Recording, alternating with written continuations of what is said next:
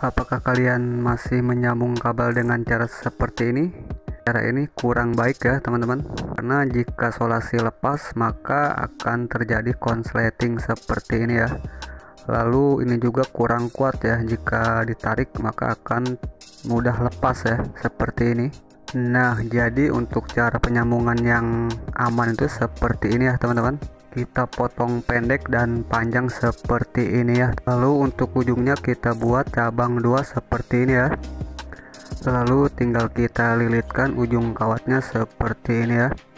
Kita lilit satu persatu, lalu kita lilit untuk yang satunya seperti ini lalu kita gabungkan dan kita lilit kembali ya sampai benar-benar rapi seperti ini ya teman-teman selanjutnya kita sambung untuk kabel yang satunya dengan cara yang sama seperti tadi ya.